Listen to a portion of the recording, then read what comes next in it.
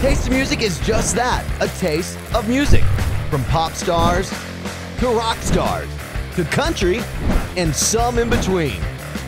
We combine the art of food and music to give fans an inside look of what the artist's taste is really like. Taste of Music finds out what food fuels the music. No matter if it's on the road, in their home, or even at their favorite restaurant.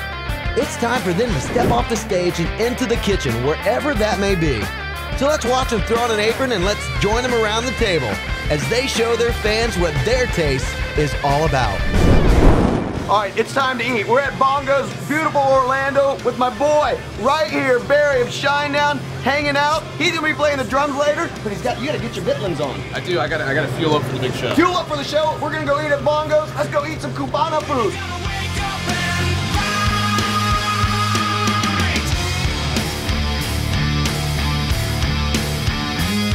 That's what it's all about with Taste of Music. Food, music, we combine it all. It's not a cooking show. It's a show that cooks. Every artist has different tastes and finds some of the best places to eat. But some artists don't get the chance to cook at home as often as they like.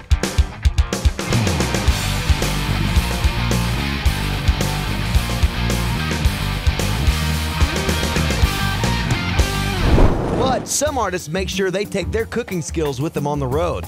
Now you want to let them cool down for just a minute because you can't just take a bite. When you eat these things, you got to eat the whole thing because it's like an explosion of flavor in your mouth. They learn to stay healthy. Or maybe not so healthy. Everybody at home should try this if you're on the road and you're trying to stay in shape. It's a wonderful way to do it. What you do is you, you just take some bread, Yep. you wrap it around an unopened beer, Very wow. twist the top off, and Wow. then you have a, a sandwich.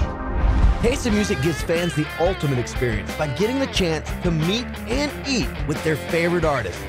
This is no standard meet and greet, but a chance to sit around the table, sharing a meal and great conversation with some of their favorite musicians. Taste of Music. It's not a cooking show, it's a show that cooks.